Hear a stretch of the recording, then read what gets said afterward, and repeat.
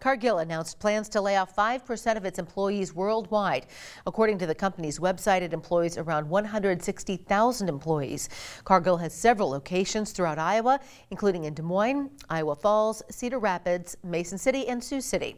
The company has not said if the layoffs will impact this state.